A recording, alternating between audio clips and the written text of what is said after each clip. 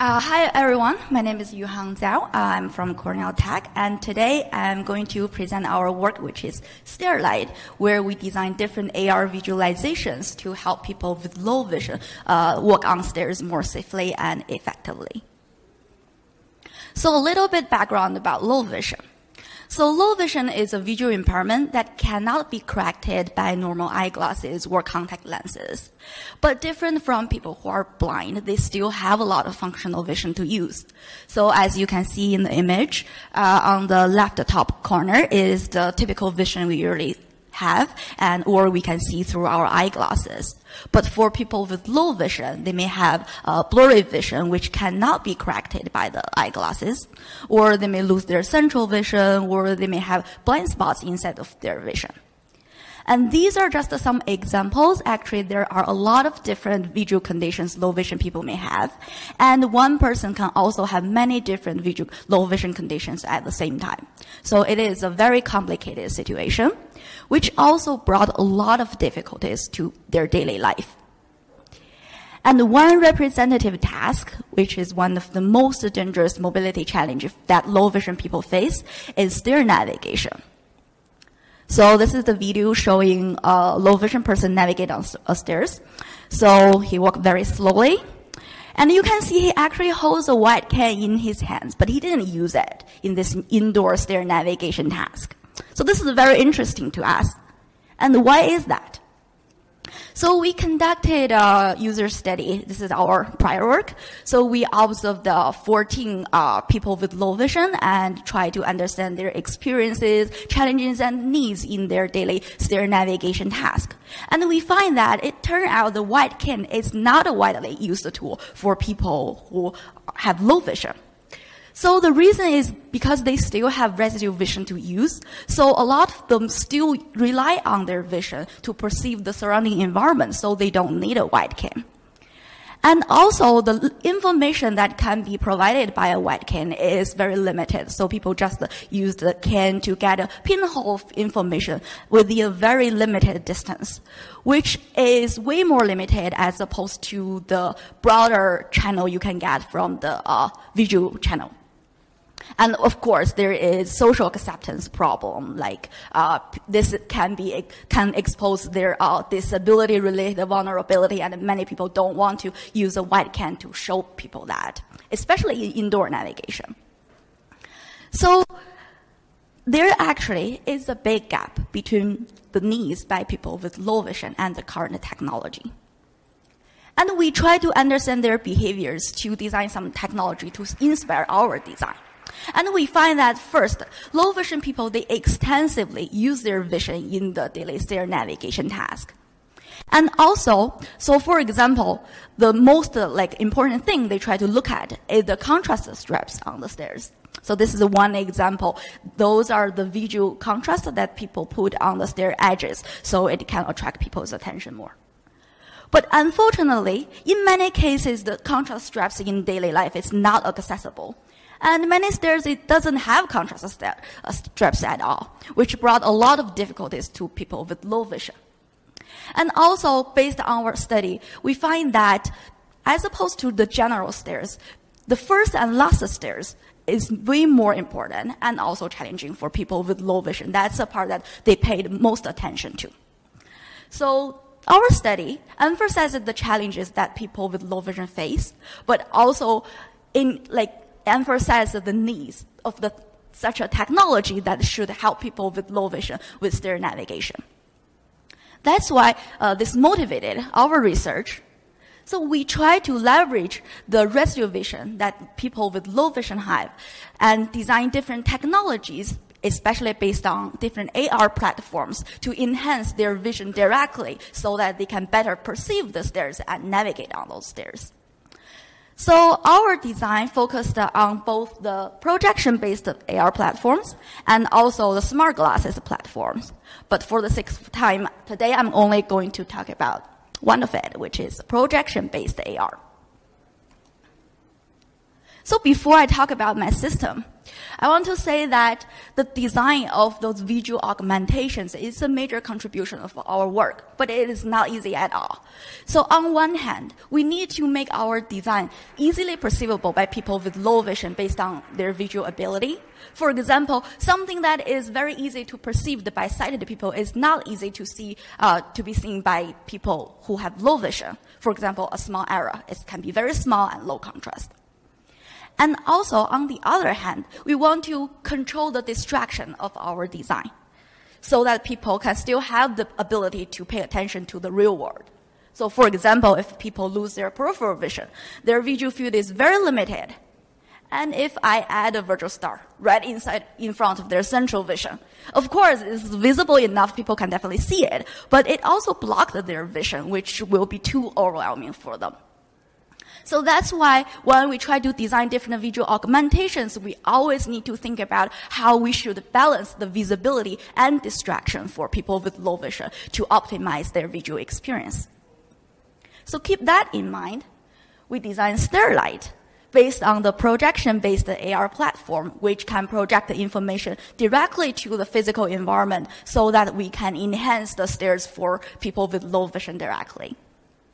So as you can see on the left side of the image, so with the projection-based uh, platform, we can use the depth sensor to recognize the position of each stair edges and project back different visual highlights to enhance the visibility of the stairs so that the low vision user can better perceive those stairs. So this is a video showing how our system works. So it simulates the interaction of a flashlight. So if people point the system towards the stairs, and it recognizes the closest three steps of stairs and project highlights onto them. And the system also updates itself based on the user's position, so that it's kind of leading the participants to, towards, towards the front. So from this video, you may also notice that we actually like the user actually used many different colors of highlights and many different patterns. So why is that? So this is the, this design actually was motivated by our prior study, and we find the first and last stairs are way more important than the rest of the stairs. That's why we try to design different patterns to distinguish those first and last stairs to make sure people really pay attention to them and can easily catch them with their vi visual ability. So our initial design is to use the yellow highlights because the yellow color is very bright, can attract people's attention. And then we generate those thick highlights for the first and last stairs. But for the middle of the stairs, we generate relatively thinner uh, visual highlights. And we also want to further emphasize the first and last stairs to make sure people can notice the existence of the stairs and its exact position so that at a distance so that they can better prepare their step. That's why we design some different animation patterns for the first and last stairs. So I'm going to give two examples. One is this flashing edge. So there are two features with this. One is it generates this uh, flash effect by switching the thickness of the uh, visual highlights. So flash, because flash can attract people's attention, especially for the peripheral vision. And also, we always keep a stable thinner edge at the exact position of the stair edge, so the user can easily keep track of the position of the stair. And another example is this moving vertical zebra. So we designed this zebra pattern because it reminds people the street crossing lines, which means alert to them. And also we switch its position between left and right so it generates the effect of movement to attract the user's attention. So these are two examples we designed for the first and last stairs to attract users' attention. And on the other hand, we want to control the distraction at the same time. That's why we want to minimize the obtrusiveness of the highlights on the rest of the stairs because they are relatively less important. So we give different color options, for example, the dull yellow color or the relatively darker blue color, so that the user can see the visual highlights, but still they, they won't be that distracting for them, so that they can still pay more attention to the physical environment. And with all of these different options, the user can select whichever patterns or colors they prefer and use them on different type of stairs. They can also customize it based on the different stairs, like based on their different colors. So that's the design of our system. And now I want to talk about how we evaluate it. So we conducted a user study with 12 low vision participants and six female and six male. And they have a variety of different low vision conditions because we want to understand how different visual conditions will affect people's experience with our system. So our study was conducted at indoor stairs for now. And first, we show the participants all different designs we have and ask them which uh, they prefer so that later they can use their preferred combination to conduct the, the stair navigation task. And we record the time and also compare the user's performance with their typical walking method. For example, if they prefer to wear their glasses or they prefer to use their uh, white cane.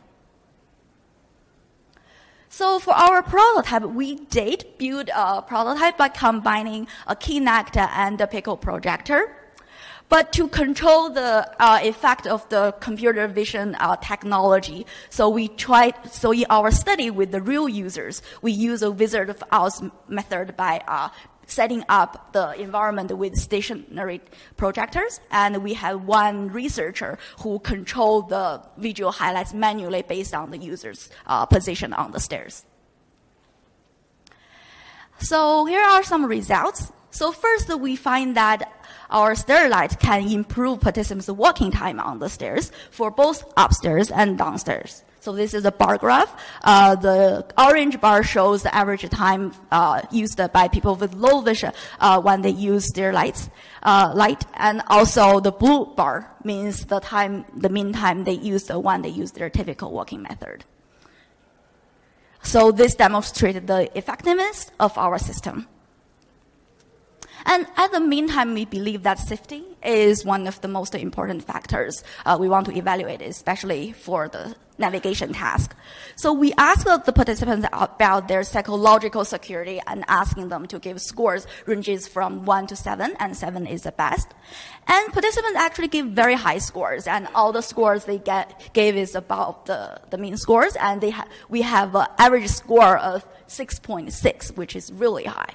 So participants also mentioned that with the projection techniques, they can uh, spend much less visual effort on the stair navigation so that they feel more confident and safe. So because of the improvement of people's psychological security, their behaviors on the stairs changed a lot. For example, all of the participants stopped using their feet to feel the position of the stair edges. And also some of them stopped hold, holding to the railings. And also some participants changed their looking direction. For example, originally they looked down to their feet to see each of the steps, but now they look more ahead. So here's the code describing how the users changed their uh, looking direction. So as P9 mentioned, I know mentally I'm looking in the bottom field of vision, which is their lower peripheral vision, even though I'm looking straight ahead.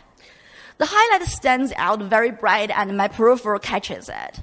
Without the system, I have to stare a lot more at the stairs and I have to look a little extra to make sure that this is really the last step.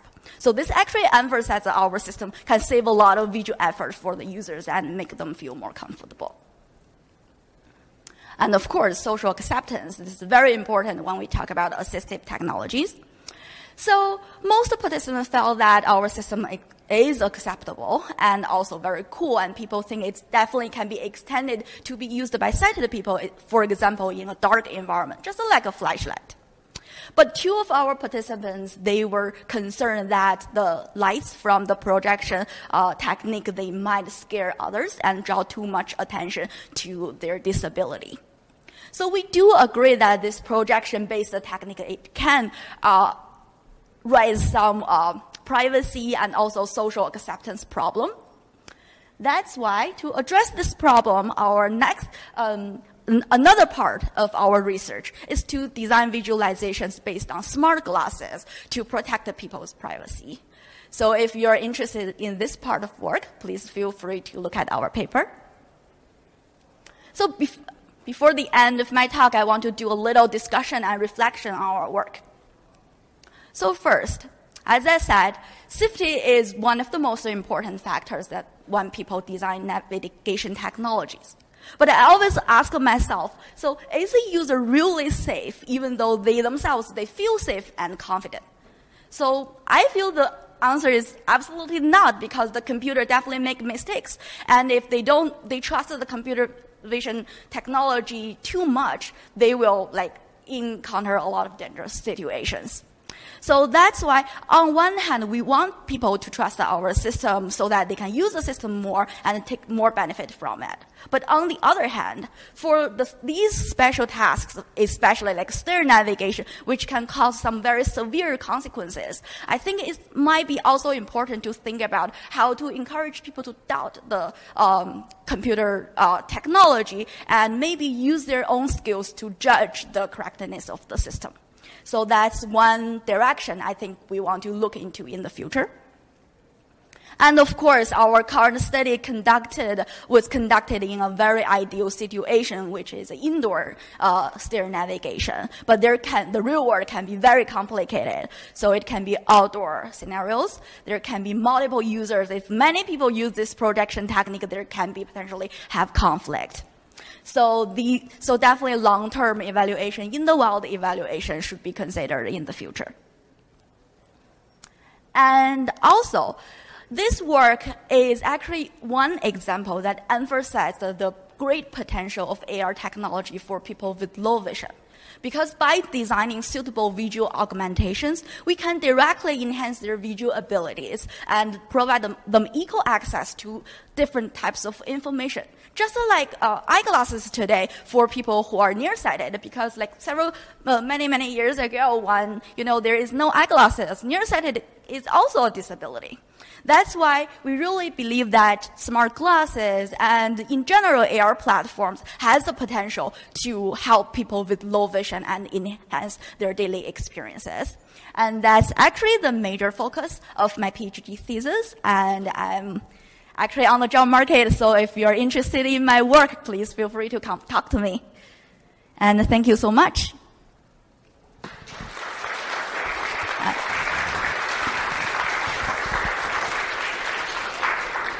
Any questions?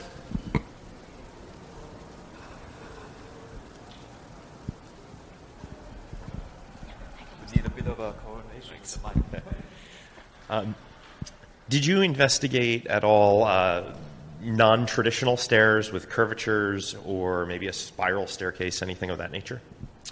Uh, we definitely, when we design our system, we definitely kept that in mind. So I don't think the design of those visual highlights have conflicts with those type of stairs. So the only challenge would be like how we can use computer vision technology to recognize different types of stairs. Stairs. I think that's the major difference uh, for the, all different types of stairs different type of stairs for our system, but I do think the design itself won't be affected.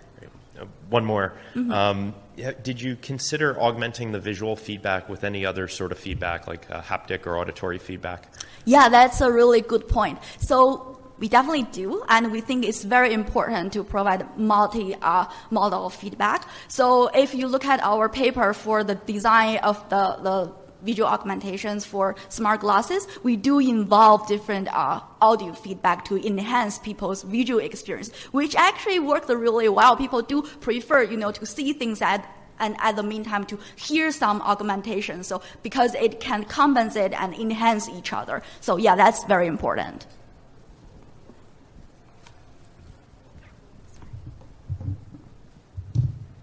Hi, um, hi, Yuhang. So I have a question. Like uh, as you discussed uh, that um, some some participants would concern whether the projector light will scare the sighted people around. So did you would you consider that uh, uh, if you can use the projector light to um, notify the the people around who is sighted, or to how to uh, uh, let the the the um, the, the user to, to interact with the sighted people around by projecting some information or some notification?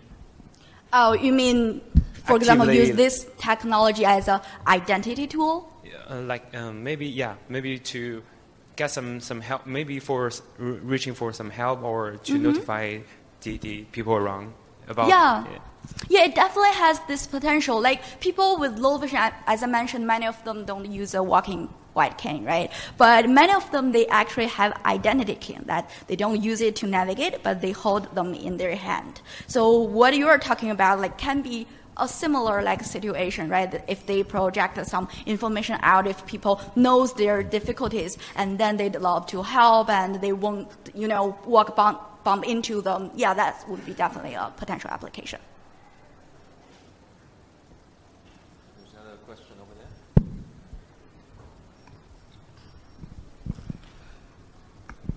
Uh, Thank you for the talk. I was wondering what activates the system? So if the person's moving through the environment, and how do they start using your program? So our system is currently focusing on the visual design part, so we didn't build a fully functional uh, system. But I do imagine it can be like ideally like the handheld device is not a good platform because you don't want people to hold things in their hand when they walk on stairs right? But that's the, the current platform we are building.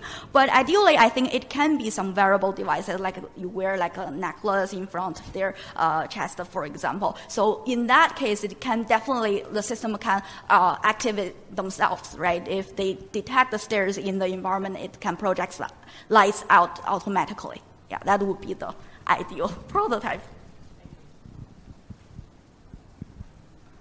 All right, let's thank our